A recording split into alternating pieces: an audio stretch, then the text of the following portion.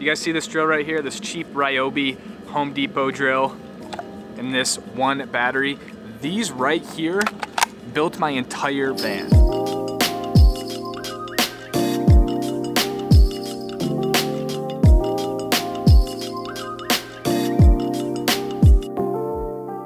Everything in the van is completely handmade. The cabinets, the table, all of the woodworking. There was nothing that we bought and just put into the van. Everything here was designed with a purpose and it took me about six months to build, largely on the weekends and after work. And I really had absolutely no experience with any of this stuff.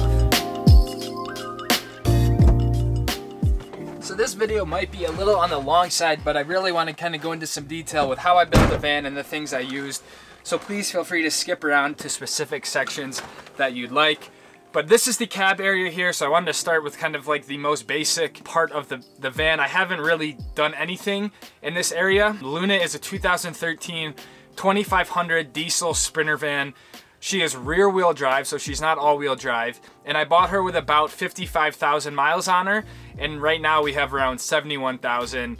Uh, And now we move into the first part of the van here, which is the actual kitchen area right as you come in from the main slider door. One of my priorities when building the van was to have a really functional, sort of high quality kitchen that reminded me of just a residential kitchen. So nothing that was too clunky to operate or having to move a bunch of stuff around. I just wanted something that was just kind of always open and really easy to use. So the kitchen here is made up of some butcher block. I have a really deep kind of full size sink so it's easy to do dishes and just sort of have an area to work. I have a purified sort of drinking water setup uh, and then a um, whole faucet here and then a little uh, soap dispenser here and then a two burner stainless steel stove that works really really well. This is just powered off a propane tank underneath the garage area and then I have some subway tile that again I just got from Home Depot. Almost everything in here I got from Home Depot. I also put um, an under cabinet light up here which really comes in handy for early mornings and stuff like that. All of the cabinets in the van were completely hand built. They were probably the hardest part in my opinion for the van just because of the getting the fit to, to be right and the doors to line up. Like these were definitely kind of the most finicky thing of the whole thing. But all of the cabinet is made out of half inch birch plywood. And this is kind of just the natural look of it. I ended up just staining it with some polyurethane, but I kind of like the just the, the natural sort of Scandinavian design and look that the birch had. This first cabinet up here is really just cooking stuff. I have spices, um, sort of like olive oil. I have like all my coffee stuff up here and then just other cooking utensils. So that way, like I'm here cooking and then just everything I need is right above, um, right above the stove for just like easy sort of access. And then the second one back here has things like plates and bowls, coffee cups, and then all of my toiletry stuff. So I'm almost more stuff like over the sink. So this way I have kind of everything I need that I would use here right above where I would actually use it. The last part of the kitchen is this sort of base area here. The frame of this is actually built out of hickory. Hickory is a really, really hard wood, so it just holds up really nicely. This first one here is just um, a small little utensil drawer, um, forks, spoons, things like that. So this worked out really well. This is just a false sort of front because the sink runs so deep that I couldn't put anything in there. And then I have a 65 liter Dometic um, fridge freezer. The reason why I went with a normal fridge freezer rather than something like the chest fridges, which are known to be more efficient and just kind of keep cold better, is simply because um, I wasn't too worried about my battery and the efficiency and I wanted something that just felt more like a home fridge. The fridge is totally empty because I haven't really been living in the van at all, but you can see it's not the biggest fridge, but it definitely fits two or three days worth of stuff, and that's really all I need at a time. And then the mini freezer up top. So, and then on the bottom here below the fridge is a another sort of pull out, a little bit more heavy duty drawer here where I can keep pots and pans, little things like that, cutting board. And then lastly, underneath the sink here,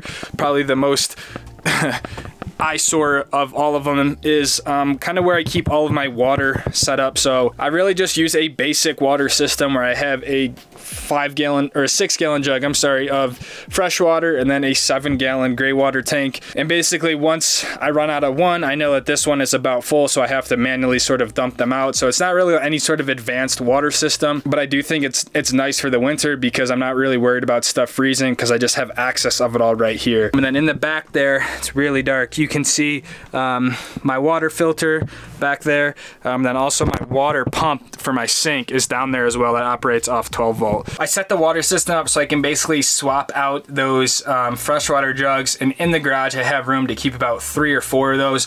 So if I'm completely full and I'm really going out to live in the van or on like a long trip, I could really take up to anywhere from like 20 to 25 fresh gallons of water. And then like I said, just switch them out and dump the gray tank um, at the proper dumping um, when I get to that point. And the last thing up here in the van is the swivel seat. I had to put a swivel seat base in. So now the seat, like it says, swivels inwards and now it really opens up the actual living space here. So when I'm parked, um, this is a great spot just to expand the rest of the the area up into the cab here gives another seat here. Can also look out the window. So this is a really cool spot as well. Um, that I think for the money, swivel seats are way worth it. One of the last things that we did here, just kind of by like accident almost, was in order to kind of create some depth to the van, we ended up stepping down this whole thing here. And this actually turned into a really cool like mini storage cabinet here. Um, and it also kind of works as a seat and also as a outside table when you're outside. So this area is super versatile and it's kind of like this three in one area that was kind of like a happy accident, but ended up working out really well. The ceiling is just 3 eighths inch pine tongue and groove that I just sealed with polyurethane like three or four times.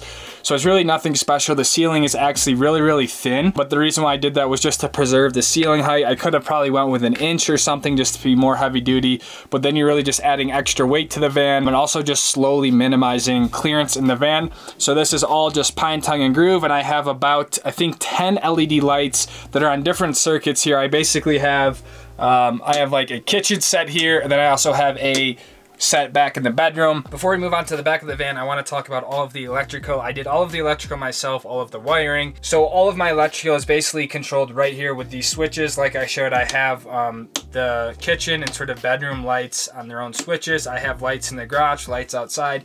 Then I basically put all of my main appliances also on switches. So I can turn the fridge on and off for times where I'm not using it. I don't have to worry about disconnecting a fuse or anything like that. Um, I also have my water pump on a switch, the WeBoost cell receptor. Then I also have my actual power outlets on switches as well. And then below here is my actual inverter, which allows me to have normal um, power that you would have in your house um, with just like a wall outlet. So basically I have to invert the power from DC from the batteries to AC um, current and that's done by a, a 2000 watt inverter. And everything is housed in this area here. This little grate that you see right at the bottom of this the frame there um, is just to give everything some ventilation. I have um, another vent sort of on the front here, but I have two 100 amp hour lithium ion batteries and then a 2000 watt inverter charger right above it. So all of my battery stuff is done right here. It's mainly powered by 320 watt solar panel on the roof, but I also have it hooked up to the sort of alternator of the actual van. So when I'm driving the van, it's also charging the batteries here. So I really never have to worry about power because between all the solar on the roof um, and chart and like just driving, the van usually gets a ton of, of charge. I don't really have to worry about it. The lithium batteries are also just absolutely amazing. They're super expensive, but I think it's totally worth it over normal, just like AGM batteries. Also my inverter here, um, I can plug into the wall and it will also charge everything. So really, it's kind of confusing, um, but I have three main ways I could charge the batteries. But for the most part, I don't do anything. It just charges by the solar um, and everything works really well. Just to show you guys the last sort of components of all the electrical, this is where all the electrical is ultimately is housed. I have my charge controller down there, a bunch of fuses, junction boxes, wires. You can see my DC fuse panel there, um, inline fuses, and kind of all leads down this way into the battery. My battery voltage is 14.2. I'm fully charged. Um, that's kind of the overall life of the battery. So I have about 200 amp hours. Um, and then how many amps I'm pulling in and charging right now. So it's actually getting some charge from the sun for amps. Um, and that way with this, I can just sort of get really quick sort of monitoring of the battery system. Um, and it's actually really, really easy to use and set up. And then while I'm here, Um, this is just my heater controls that turn on the, the diesel heater. And then you can see the little USB ports that I have and then wall outlets is kind of what's what's on this wall here. So I guess that kind of transitions us nicely into the actual sort of bed living area. walls back here are made out of, I think it was 3 8 inch shiplap. I can't even really remember at this point, but it's just shiplap again from Home Depot. I just think it adds a really clean look and it's super easy to install. And I just painted it. Um, it's called Chantilly Lace from Benjamin Moore. The way the table works is basically there's this piece of hickory that I keep underneath the bed here. Basically there's a little catch on the floor and I can just slide this down and it sits in the actual catch on the floor just so the pole doesn't get sort of kicked out or anything like that. And then this is just a gate latch here. Um, so once I remove the carabiner for a, carabiner for a safety, um, I just sort of release the gate latch here and the table falls and you can see um, the pole right there. The table will just sit nicely on the pole. And now you have a uh, just a complete folded out dining table, a little workspace, whatever you need. Um, it's pretty secure and again, totally handmade. To put it back, you just kind of lift it up. It will secure nicely there and then you just remove the uh, hickory pull out and you're good to go. The last feature here in the dining room is this entire oak top that we kind of went over with the electrical, but if you look back here, there's just a ton of storage. I really keep dry food here, whether it's soup or rice, protein bars, um, whatever it is, just because there's so much storage in here and you can see it even extends to the back and this one goes all the way down um, to the bottom. But this is, again, this is just that same oak as the table and things like that. And this is just one big strip um, that just allows me to, to put stuff there and um, will actually serve its primary function is to serve as the support for the bed. So now that we've went over the kitchen area and sort of like the main daytime area, I'm gonna show you guys how I go down to bed mode and how that whole thing works. It's really on a slot design and sort of done in three different ways. I'm gonna do this backwards so it's easier to show you guys, but underneath the bed here, this is built into three different sections. So you can see, basically I can pull this up. This is the first section, it's small. It's only three one by twos, um, but this will basically slide out come here and rest on the oak top on the other side. And then the main section here is a little bit bigger, um, but I can pull this entire section out. Rest that on the side, so now you can start to see how the bed is gonna work. And then lastly, there's just one final section here that I pull out, put on the side here. And then essentially, this is a full-size futon mattress. Um, so then this literally just slides down and it's as simple as that. And now you've went from a couch to a full-size bed. Then behind the bed is another section of this oak here that we kind of um, had to use to support the bed and things like that. But instead of just wasting this space, we built it into three different sections here. Um, this first one is just a little, I call it like a little bedside table because it's easy to access stuff once the bed is down. The second and the bigger one here is actually for all of my linens. So you can see the sheets, the duvet, all that stuff is kind of clunky and hard to store when you don't want to use it. So this middle one allows me to really just stuff stuff down there, not have to worry about it. And the last one here, I actually don't use that much. I don't really know what it could be for, but it actually goes right down to the bottom of the van. Kind of hard to see. That one is still to be determined, but it was originally planned for laundry or stuff like that, just when you have dirty stuff, towels. But you guys get the, the general idea of what this whole thing is. And what's nice is I can just leave the bed down if I'm feeling lazy one day or I just want to get on the road in the morning. I don't have to put the bed up to drive. The bed can stay down for as long as I want. Underneath the bed is what I like to call the garage. It's basically just a big space where I can keep things like skis, chairs, whatever I need. Um, so what I did here on the alleyways, I built a sort of side access to get into the garage so I don't have to always go outside to access things. I also put two LEDs in the garage area that you can see here. So that if I just need to access something quickly, I can get it here from the side. You can see the propane tank that feeds up to my stove. Um, and this is where I can keep some extra water jugs if I need it. While I'm down here, the floor is just some vinyl hardwood that I got from um, Home Depot. It's life-proof stuff, so it's water resistant, scratch resistant, all that sort of stuff that you would want in a van. Um, but it's super easy to lay down, actually just sort of all clicks into place. Um, but this is the inside view um, of the garage.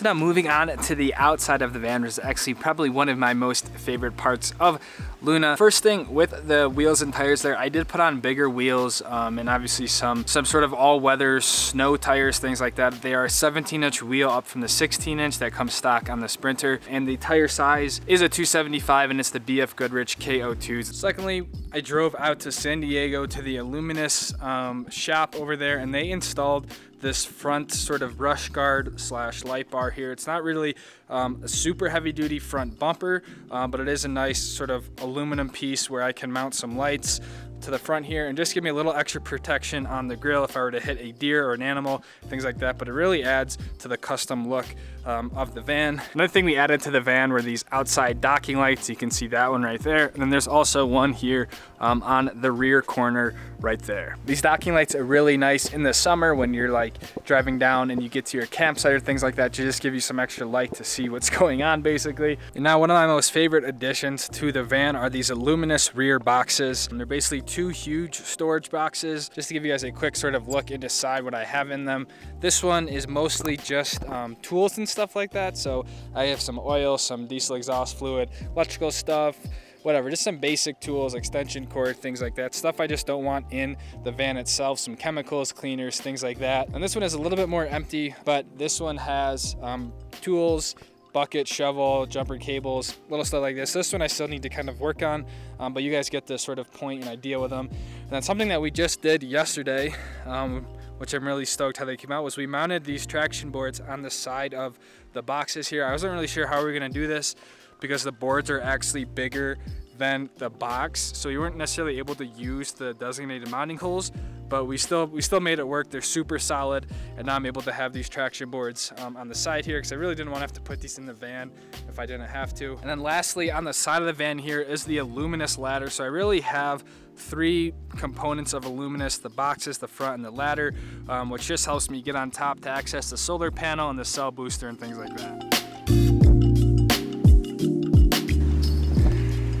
So up here on the roof, there's not too terribly much going on, but we have this, um, this is my cell booster here, so this just helps me get a little bit more cell signal when I'm in some dead areas. Here um, is a big 320 watt solar panel that basically just charges my batteries, and then right here um, is my fan, just get some circulation in, in the van, um, and give me some ventilation when I'm cooking, things like that. But other than that, the roof is kind of quite plain. Now you can see how this all sort of comes full circle and now we're looking in the back of the van here. Underneath here is the garage. I just sort of have this flap to make it just kind of hide this stuff when the doors are open. But as soon as I raise that up, you can see there we are back in the garage. Um, and then sort of on the ends are these little um, like little end cap storages here. Again, there's another outlet here. The idea with this was a boot heater. I haven't really used that as much, but I do have an outlet over there. Um, and then another little space here, an extension cord so I can charge my house batteries and then even my little cell booster antenna which is hiding right back there. If you've been following along since season one, you really would have seen the entire transformation of Luna because she started as a complete messy work van. So I really had to go through all of the steps to get her even ready to be built out. I bought the van um, for $20,000 and it cost me about 10,800 or let's just say $11,000 to build out entirely. That's not really including the time it took me to do it, but that's really just the actual, the labor, the, the materials it took to build the van. So really right around 31 to $32,000 is what it cost me to get the van to where it is now.